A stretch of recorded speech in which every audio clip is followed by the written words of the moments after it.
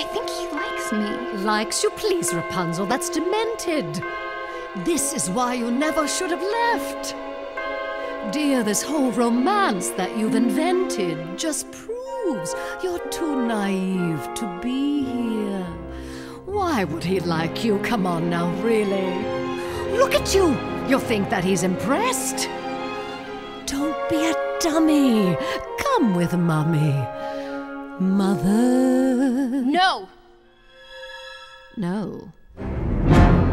Oh. I see how it is.